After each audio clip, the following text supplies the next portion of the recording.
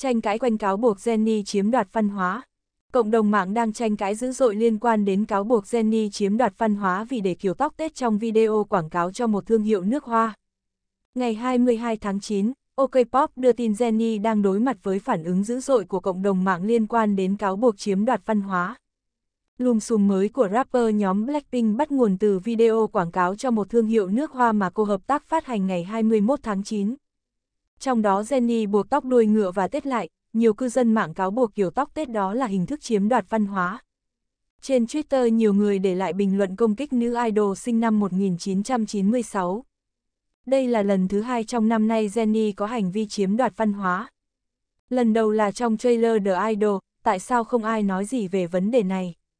Nhìn thấy Jenny để kiểu tóc Tết sau những gì đã xảy ra với Lisa, cô ấy đã xin lỗi còn không chỉ một mà đến hai lần làm tôi sốc và buồn. Tôi yêu những cô gái này nhưng đừng phạm phải những sai lầm tương tự. Jenny lại tết tóc, làm ơn nói với tôi các bạn đang nói đùa đi. Các bạn lên án Lisa chỉ để Jenny làm điều đó hai lần trong một năm. Đối với tôi, đó là tiêu chuẩn kép, thần tượng cần có trách nhiệm hơn với cộng đồng.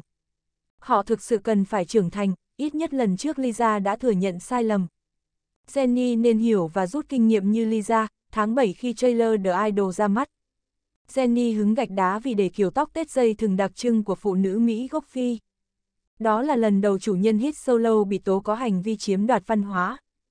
Theo Corbu, người Mỹ gốc Phi coi kiểu tóc tết dây thường là nét truyền thống mà tổ tiên họ để lại. Nó là một trong những bằng chứng gợi nhớ đến chế độ nô lệ tàn khốc khi mà người da đen phải sống trong định kiến và phân biệt chủng tộc nặng nề. Qua thời gian, kiểu tóc này trở thành biểu tượng cho sự chấp nhận và yêu thương bản thân, vì lý do đó trong quan điểm của nhiều người, ai đó không phải người da đen để kiểu tóc này là thiếu tôn trọng, nặng nề hơn là chiếm đoạt văn hóa. Một số ý kiến nghi ngờ đây không phải vấn đề ở kiểu tóc mà chỉ là cái cớ cho cuộc chiến giữa người hâm mộ của Jenny và Lisa.